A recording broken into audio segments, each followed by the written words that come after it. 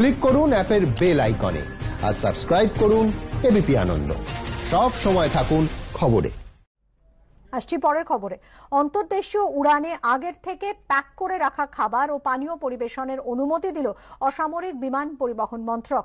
Corona আবহে অন্তর্দেশীয় বিমানে খাবার ও পানীয় পরিবেশন এতদিন বন্ধ ছিল। আন্তর্জাতিক উড়ানে করোনা পরিস্থিতিতে রান্না করা খাবার ও পানীয় পরিবেশনের অনুমতি দেওয়া হয়েছে। তবে মদ পরিবেশনের অনুমতি দেওয়া হবে কিনা সে বিষয়ে এখনও সিদ্ধান্ত নেয়নি অসামরিক বিমান পরিবহন মন্ত্রক। করোনা পরিস্থিতিতে আমেরিকা, অস্ট্রেলিয়া ও ইউরোপের কিছু দেশে আন্তর্জাতিক উড়ানে মদ পরিবেশন এখন বন্ধ রেখেছে। সেই সঙ্গে মাস্ক পরা না থাকলে কোনো যাত্রীকে বিমানে তো উঠতে দেওয়া হবেই না। উল্টে তাকে নো ফ্লাই তালিকার অন্তর্ভুক্ত করা হতে পারে বলে অসামরিক বিমান পরিবহন মন্ত্রক সূত্রে খবর।